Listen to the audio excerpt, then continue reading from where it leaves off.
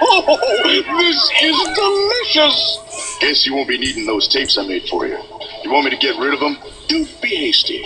Not until I see those street fighters pummeled to dust, which should be any moment now.